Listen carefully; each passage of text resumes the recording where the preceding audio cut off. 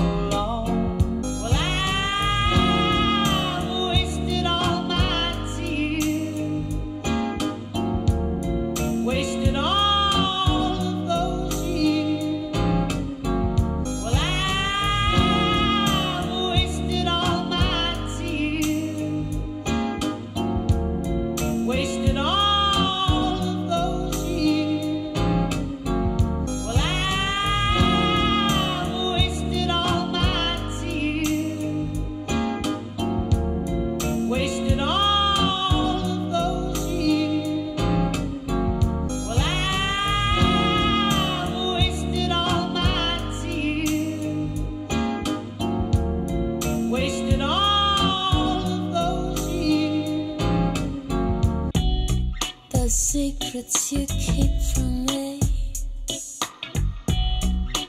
Will I ever know the secrets you keep from me? Will I ever know the secrets you keep from me? Will I ever know? Secrets you keep from me. Will I ever know?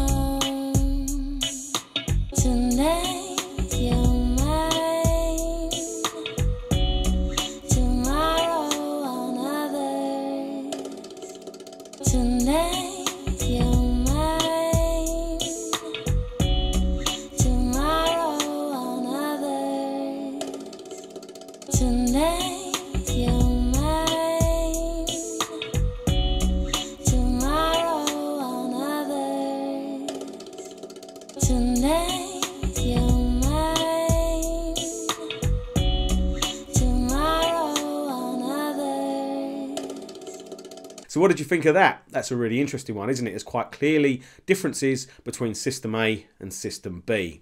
I would say System A is fuller, more rounded, possibly a little bit richer sounding, whereas B is much clearer, much cleaner, much more open sounding. Really quite obvious and distinct differences between System A and System B. This is the bit that's going to mess with your noodle. Digital audio ones and zeros.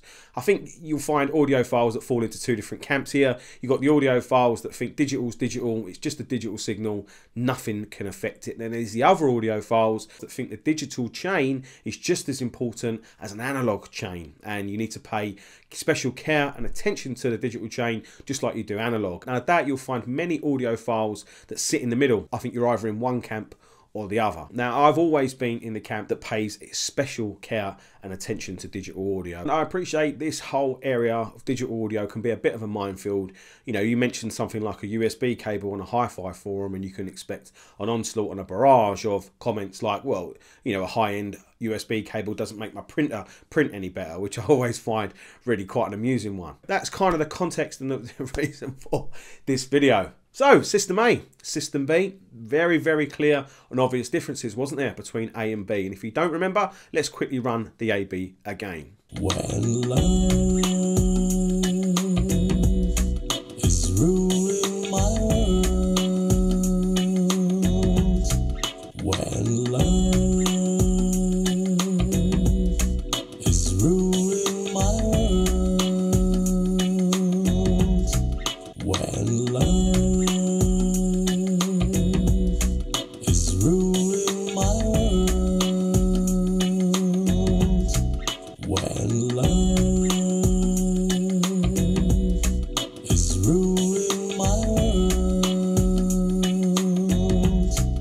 yeah, so very, very clear and obvious differences between A and B.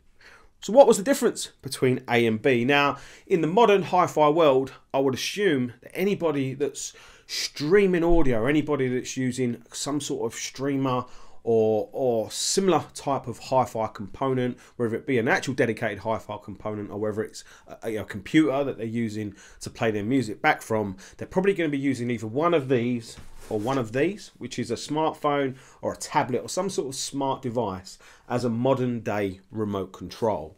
And there are loads and loads of different remote control apps that you can either buy or that you get for free or that come with and included with or made by the manufacturers of the hi-fi streamers and bits of kit that you've bought.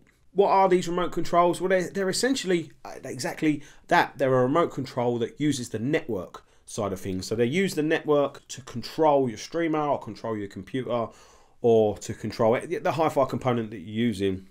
And you use them and you'll pick the album that you want to listen to or you'll create a track list or you put them on random or whatever the functions are that you want to use. But for me, using one of these remote controls has been the biggest revelation or biggest musical playback revelation that I've experienced in my lifetime. The fact that I can sit in my chair pick the different songs that I want to listen to, create a playlist that I want to listen to, flick between all the albums that I own and listen to. And obviously, if you're a, a Tidal or a Qobuz or a, a Spotify streamer, then you're going to completely rely on one of these to access the library, access the cloud based music that you listen to. So, this remote control and the interface and everything becomes a vital and key and critical part of the hi fi experience and chain.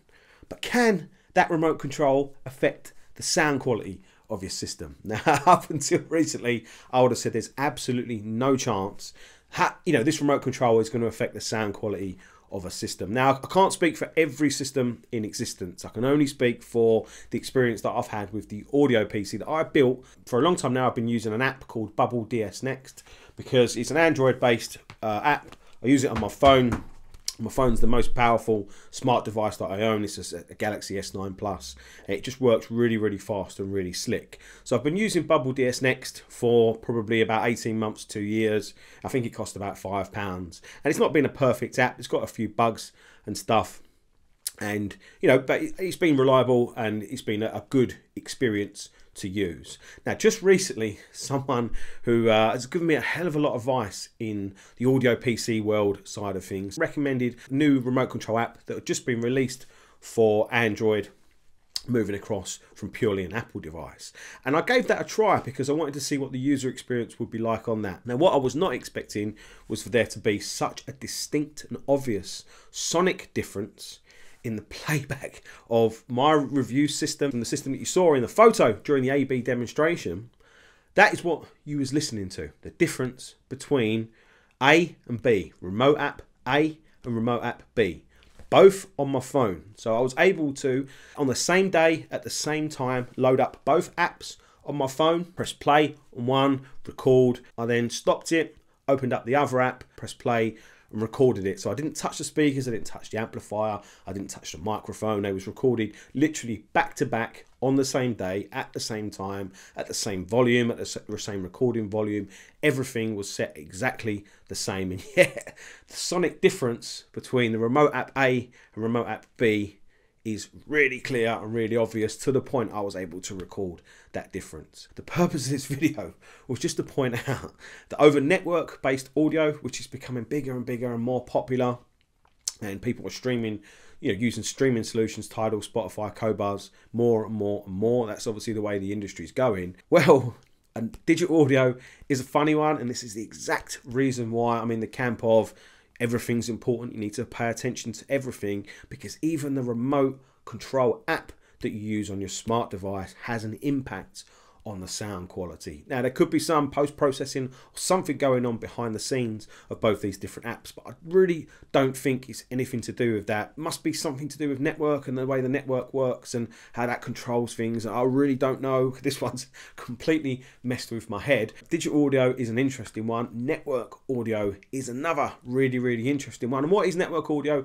Network audio is digital audio. And bearing in mind, when I say I'm using this as a remote, I literally mean so the music's not stored on the phone. It's nothing to do with how it grabs this music from the phone, send it over Wi-Fi or Bluetooth, whatever. There's none of that involved. All this is doing is telling the computer what to do, the same as a remote control.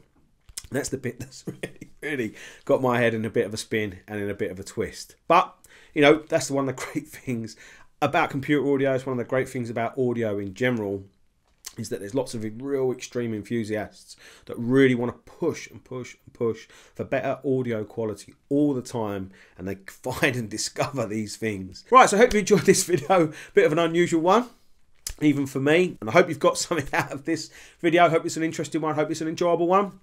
If it is, make sure you leave us a thumbs up. Make sure you subscribe to the channel if you haven't already, as I say, because there's going to be a hell of a lot of really interesting videos coming soon. Make sure to go and visit the website. There's been a lot of development work going on that recently as well. So go and check that out. Let me know what your thoughts are. And I'll be seeing you soon. Take care.